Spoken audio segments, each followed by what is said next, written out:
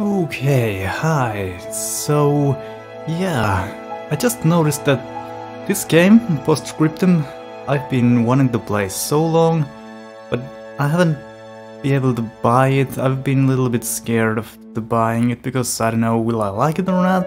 But today it's free, like a 24 hours still on this Sunday. So I just wanted to announce that so the others will know as well. Oh shit! That's so damn loud! Even the music is pretty good.